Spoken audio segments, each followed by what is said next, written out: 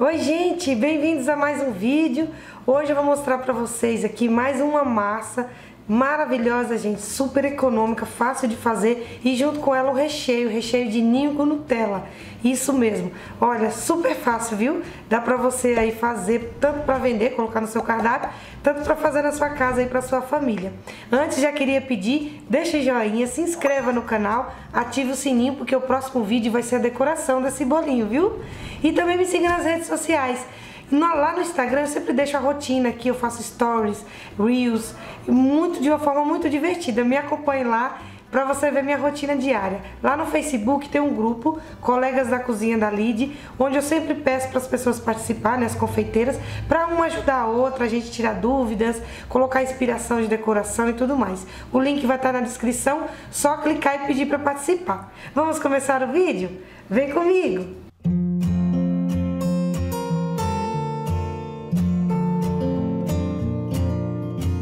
Oi gente, vou mostrar para vocês aqui mais uma receitinha maravilhosa de uma massa e na sequência o recheio, né? Vou mostrar prensando também. Gente, maravilhosa. Essa, essa massa é para um quilo e meio, chega até dois quilos, tá? Dá para usar para bolo de dois quilos também, já usei, né? Mas esse eu vou fazer por fatia né, que é, são os bolos de ganache que eu vendo por fatia. E no vídeo da sequência vou mostrar como eu vou decorar, né, decorando aí com ganache. Maravilhosa, gente. A ganache fica maravilhosa, mas isso aí é no próximo vídeo, tá bom? Então não deixe de ativar o sininho aí. Vamos lá, gente, deixa eu apresentar pra vocês os ingredientes sem enrolação, né? Ó, eu tenho aqui 80 gramas de farinha de trigo, tenho três ovos que eu já dividi, ó, já bati as claras e aqui estão as gemas, tá? Bati em neve as claras que nós vamos usar só no final, tá bom? Tenho 70 gramas de açúcar, é, 45 gramas de chocolate 50%, aqui duas colheres e meia ou três colheres rasas de óleo, pode ser de soja, de canola, tá bom? 30 ml de leite, tá? Tudo em temperatura ambiente, tá? De preferência, tá, gente? Como eu já bati as claras, eu vou aqui na minha tigela, ó. Eu tenho a tigela da batedeira que eu já bati as claras, inclusive, né? Tá até sujinha aqui. Vou colocar as minhas gemas, o açúcar, o óleo. Gente, se vocês não pegaram os ingredientes aí eu falando, vai ficar na descrição, tá bom? Vou deixar tudo anotadinho lá pra vocês. Só pegar lá, né, tirar print ou anotar, tá bom? E o leite. Agora eu vou bater até ficar uma massa aí bem fofinha e branquinha. Aí eu mostro pra vocês. Aproximadamente aí de 7 a 10 minutos. Nisso, já vamos ligando o forno, tá bom? Deixa o forno pré-aquecido já. Gente, deixa eu mostrar pra vocês aqui a minha massa. Ó, bem fofinha e branquinha. Agora, deixa eu só colocar o tapetinho aqui no fundo, senão a, a, a, o bol não vai parar. Vou pegar uma peneirinha e vamos peneirar o chocolate em pó e a farinha aos poucos, tá? Não precisa ser tudo de vez. Vamos peneirando, mexendo aí devagar, tá bom? Desse jeito. Não precisa muita pressa. Gente, eu esqueci de falar pra vocês do fermento, tá? Mas vai uma colherzinha de fermento. Uma colher rasa de fermento, tá bom? É que eu esqueci de apresentar nos ingredientes. Mas como eu disse, vai ficar tudo na descrição. Lá eu deixo anotadinho, tá?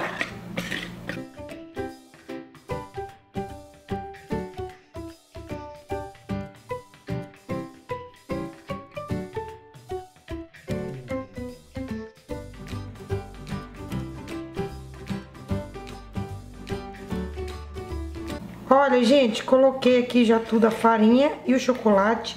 O chocolate, se vocês quiserem aumentar, pode aumentar, tá bom? Pra mim, essa quantidade é o essencial pra receita. Agora eu vou colocando aqui as minhas claras. A farinha também, gente, eu já falei em outras receitas aqui, que é bom ir colocando aos poucos pra você vendo a textura do bolo. Pode ser que às vezes os ovos, por ser um pouco menor e tudo mais, a farinha não precisa colocar tudo, tá bom? Senão fica muito dura a massa. Mas essa quantidade aí, pelo menos os ovos que eu tô usando aqui, né? Que eu tô comprando do mesmo fornecedor. É essa quantidade que eu uso, tá bom? Mas vai colocando aos poucos e vê se não vai ficando muito duro, né? É, tem algumas receitas que eu já vi, o pessoal pesa os ovos. Dá pra fazer isso também, tá? Mas eu não costumo fazer isso não, gente, porque é, eu acho que dá um pouco mais de trabalho, né? Ainda mais se for pra fazer clara em neve, aí é um pouco mais trabalhoso. Mas olha, ó, as 80 gramas de farinha foi certinho, ó. A massa ficou perfeita, não ficou dura e nem muito mole, tá vendo? Só mostrar mais de perto pra vocês. Só vou homogeneizar mais um pouco, porque ainda tem uns pedacinhos brancos aqui da clara, ó. Mas eu tô homogeneizando de baixo pra cima, bem devagar, tá vendo? Agora eu vou colocar a colherzinha de fermento. O fermento, minha gente, eu meço aqui também, ó. Na, aqui mesmo, aliás, né? Na tampinha. Não precisa encher muito, tá? Ela rasa assim, ó. Que se vocês olharem, pelo menos esse da Royal, tem a marquinha da colher na tampa, tá bom? A tampinha equivale a uma colher. Aí você pode colocar ela rasa, né? Não precisa encher muito. Claro que se o bolo fosse maior, aí você podia colocar um pouco mais, né? Quanto maior a massa aí, você pode aumentar. Mas não ultrapasse uma colher muito cheia, tá, gente? O fermento não precisa mudar muito aí a quantidade, não. Fica essa dica também. Agora, a forma eu vou usar essa daqui, ó. Essa aqui é 15 por 10, tá bom? Eu já tô aqui com papel manteiga no fundo dela. Não é necessário untar as laterais, tá bom? Só o fundo mesmo. Vou despejar, deixa eu só mostrar pra vocês. Olha, gente, que massa bonita. Não dá pra eu ficar puxando a câmera, tá, gente? Senão vai sair fora do foco. Mas acho que tá dando pra vocês verem aí, né?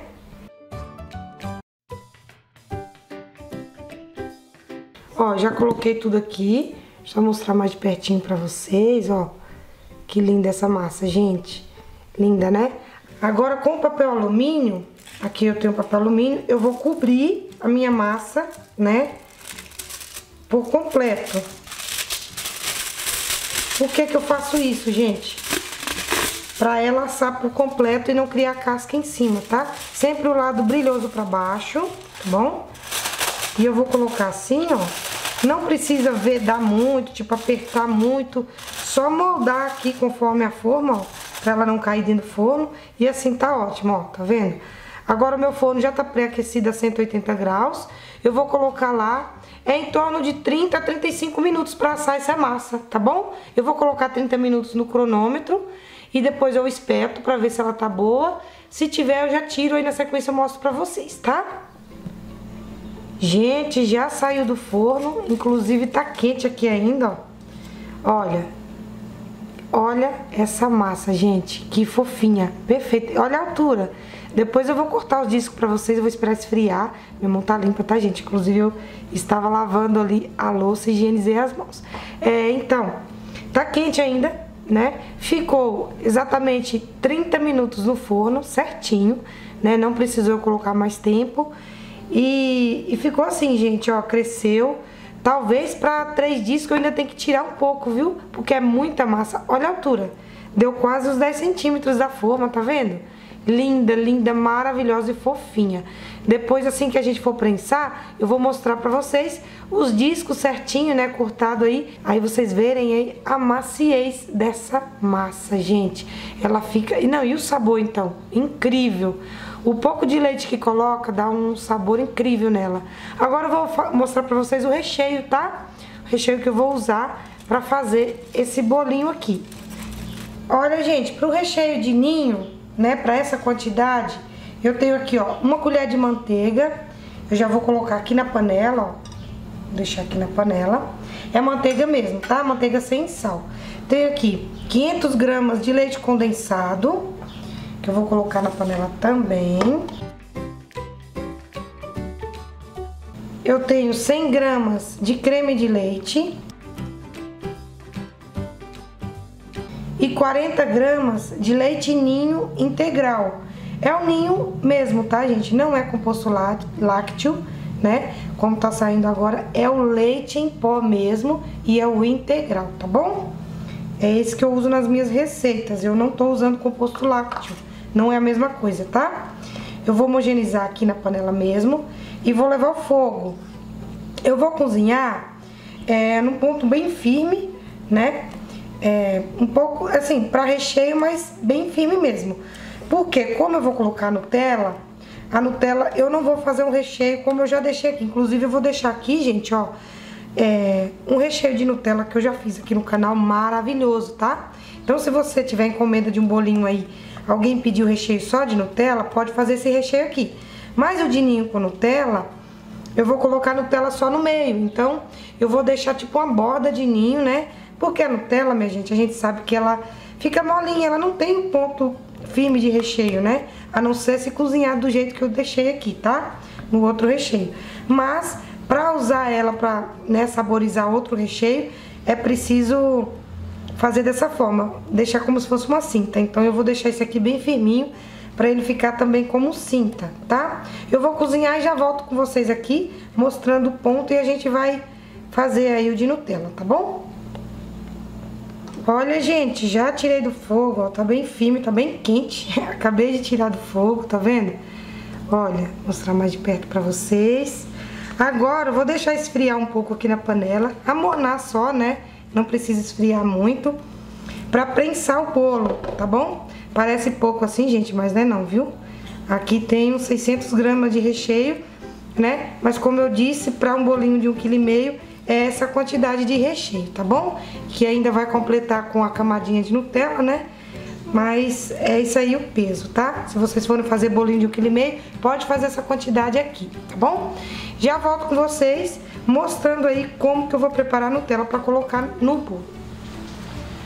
Olha, gente, agora eu vou preparar aqui a Nutella. Eu tenho aqui, ó, a minha Nutella no pote. Eu vou pesar 150 gramas. Como eu disse, é, vai ser uma camadinha em cima do recheio de ninho, né? Então, eu vou pesar essa quantidade né? Para passar uma camada aí fina em cima de cada, cada camada de recheio do bolo, tá bom? 150 gramas de Nutella. Ela tá aqui em temperatura ambiente, tá? É importante porque a Nutella é dura, gente. Quando ela gela, ela fica muito dura. Ah, e outra coisa que eu ia falar também, antes que me pergunte, porque às vezes a pessoa pode perguntar por que, que eu não uso Nutella pura, né? No caso aqui. A Nutella pura eu uso para fazer detalhes na decoração do bolo ou alguma coisa assim. Para recheio eu não aconselho, porque depois ela vai ficar muito dura, tá? Ela quando gela fica muito dura, então a pessoa não vai conseguir cortar lá a fatia do bolo, tá? Por isso que eu diluo um pouquinho aí no, no creme de leite. Ó, eu pesei aqui já, ó. Agora eu vou vir com o meu creme de leite e vou pesar 50 gramas. Que é só pra dar aquela amolecida. Mesmo assim ainda vai ficar bem firminho no bolo. E ela não muda o sabor, tá, gente? Claro, né, gente, que Nutella pura é uma coisa, né? Mas não vai mudar o sabor não, tá bom? Eu já mostrei aqui outras vezes fazendo pra vocês. Se vocês quiserem pra cobrir bolo, fazer drip no bolo, sabe? Pode colocar um pouco mais de creme de leite. Eu já mostrei aqui, tá? Eu já fiz um bolinho de ninho, morango e Nutella. E mostrei pra vocês aqui também, fazendo drip no bolo. Agora é só homogeneizar, ó.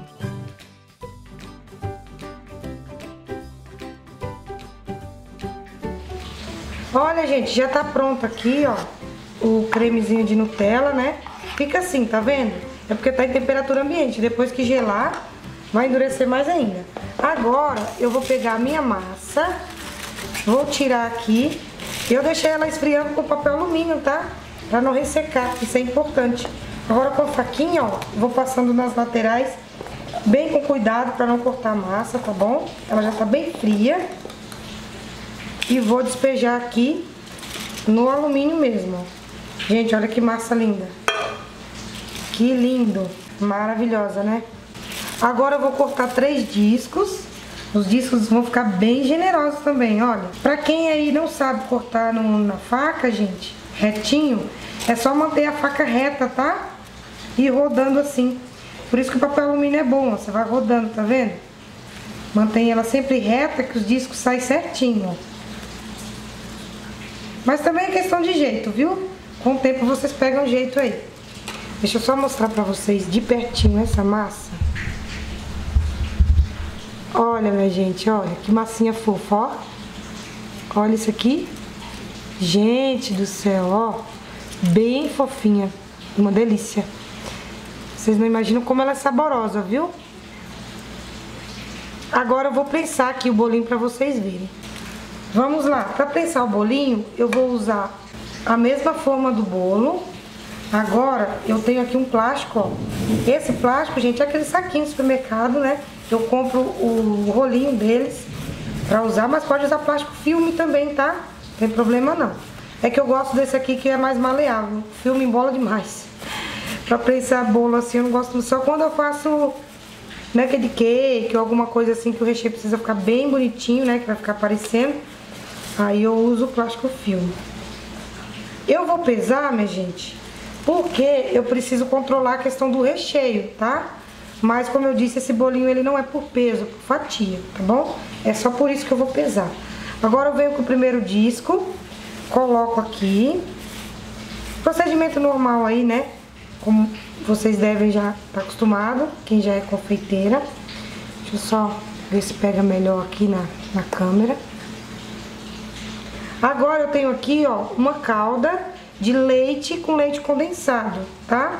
Tem gente que faz com água e leite condensado. Gente, eu não uso água, tá? Eu não acho...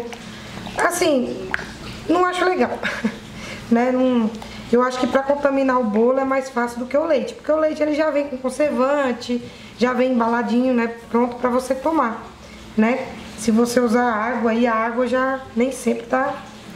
Né? Agora eu vou colocar aqui uma quantidade de recheio de ninho primeiro. E vou espalhar com a colher. Vou usar a colher para espalhar, porque senão a espátula grande ali eu não vou conseguir. E vou deixando, minha gente, ó, uma borda aqui, ó. Acho que vocês devem estar tá vendo, tá? assim, parecendo borda de pizza, tá vendo? Eu vou levantando um pedacinho no, nas laterais. Tá vendo? Olha, deixei tipo uma bordinha lá, ó. Aqui já tá dando 515, né? Que pra mim tá ótimo. Agora eu venho com creme de Nutella. Vou aqui colocar uma quantidade e espalhar. Sem passar por cima da borda, tá? Como eu disse pra vocês, essa borda aqui, ela corre um grande risco depois que sair da geladeira. Ela fica molinha de novo e acaba desandando seu bolo. Então faz assim, ó. Tá parecendo uma esfirra, né, gente? Ou uma pizza, alguma coisa. Mas é assim mesmo, desse jeitinho aqui. Vem com outro disco e coloca. E por aí vai. Agora eu vou fazer da mesma forma, né? Com a outra, com a outra parte aqui do recheio. Meus bolos são sempre duas camadas, tá? Eu não faço de três, que é pra não ficar muito alto. Então é isso, gente. Eu vou terminar de prensar aqui. E depois, né, Vai ficar de um dia pro outro, aí eu vou mostrar pra vocês o bolinho prensado, como ele ficou aí com o recheio, tá? E aqui está, gente, olha, o bolinho, já tirei da forma, olha que lindo. Bem úmido, né, bem molhadinho, fofinho. Olha esse recheio, que maravilha, bem firme. Não tá aparecendo nada da Nutella, tá vendo? Bem firme e bem seguro. Eu vou decorar com ganache, inclusive vai ser o próximo vídeo, tá? Não esquece aí de ativar o sininho, se inscrever no canal. Mas se fosse decoração de chantininho também, ia ficar firme, gente, não ia vazar nada, porque tá bem, bem, bem selado aqui, tá vendo? Eu espero que vocês tenham gostado da massa, do recheio. Qualquer dúvida pode deixar nos comentários ou me chamar lá no direct do Instagram, arroba Cozinha da Lid. Já me segue lá e acompanhe os meus trabalhos diários lá também, tá? Um grande beijo, fiquem todos com Deus, deixa o joinha se não deixou e até o próximo vídeo, não perde o próximo vídeo que vai ser a decoração desse bolinho aí, tá? Decoração de ganache. Beijo, gente, tchau, tchau!